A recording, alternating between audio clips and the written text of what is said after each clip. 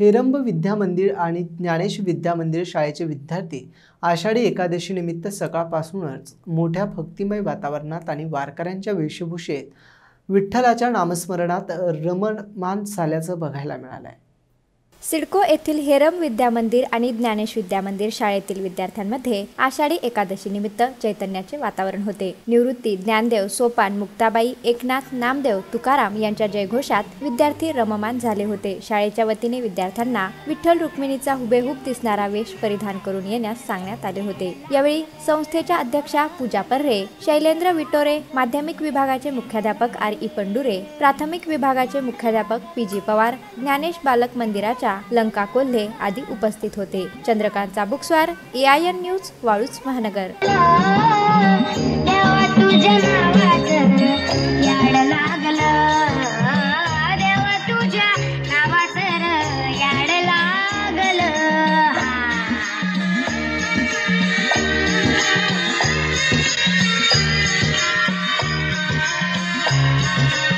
Thank you.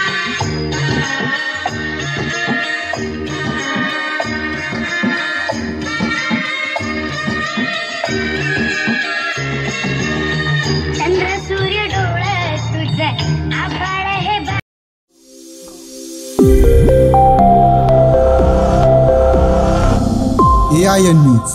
शोध सत्याचा वेध बातमीचा.